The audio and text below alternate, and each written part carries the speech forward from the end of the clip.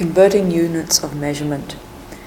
When we're measuring things like time or length or weight or money, we often get given a value in different units. So, time, a question could be answered as three hours, another question could be asked answered as 15 minutes. Your weight could be given in kilograms or grams or pounds or all sorts of things. And we need to be able to convert between them any of these conversions follow the same steps. And the really big thing that you've got to get into your head is the difference between converting from a big unit to a small unit and the other way round. Rulers can help us illustrate this. This ruler is measuring up here in centimetres, one, two, three. This one is measuring in millimetres, 10, 20, 30. If I put those together, you can see, as you already know, that one centimetre is 10 millimetres. It's the same length. There's more millimetres because millimetres are really small compared to a centimetre, which is bigger. I know this is obvious, but the big question you've got to ask yourself is are you converting from a big unit, oh, my pen's run out. From a big unit to a small unit. Like dollars to cents, kilometers to meters, hours to uh, hours to minutes. Because if you're going from a big unit, like centimeters, relatively speaking, it's larger than millimeters then, because there's got to be more of the small unit to fit into the same space, you're going to multiply. If you're converting from a small unit to a big unit, so say I was converting from 150 cents into dollars. A cent is smaller than a dollar. So there's not going to be as many dollars. If I want to get to a smaller number, I'm going to have to divide. So multiplying makes our number bigger because there's more of the small units. Dividing makes our number smaller because there's fewer of the big units. And the only other thing you have to know once you've got that, is how many small units to one big unit. And that's the number that you'd multiply or divide by. So let's have a look at some questions. E.g., 120 seconds is how many minutes?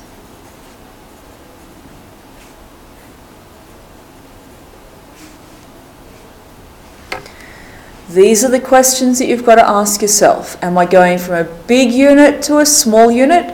I'll multiply. Small unit to a big unit, divide.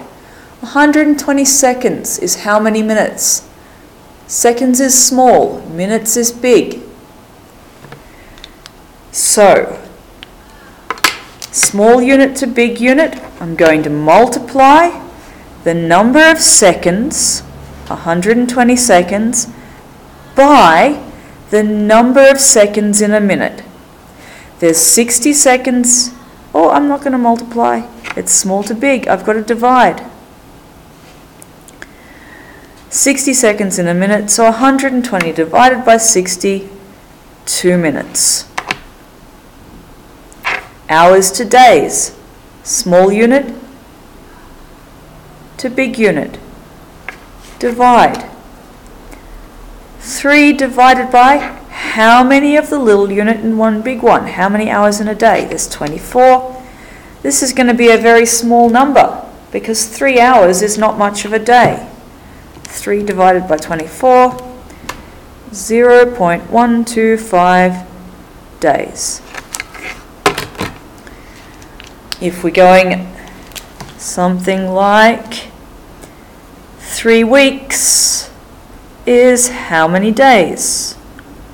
Now here days is a smaller unit. I'm going from a big unit to a small unit. There's going to be quite a lot of days. So I multiply the number of weeks times how many days in a week? That would be 7, 21 days. So these are the questions you ask yourself. Big to small or small to big? Do I want more of the number because it's a tiny little unit or less of the number? Length. We might have to convert 60 millimeters to centimeters or 3 kilometers to meters. Small unit to big unit. There's not as many of the big unit. I'm going to divide.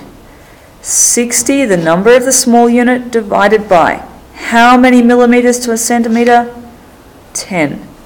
6 centimeters. 3 kilometers to meters. Meters is a small unit. There's a lot more of them to fill up that space. I'm going to multiply the number of kilometers times how many meters in a kilometer? A thousand.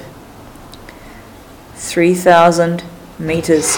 It's the same steps every time you do a, any conversion.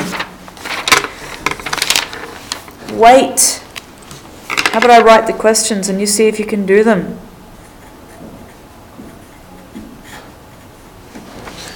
Capacity.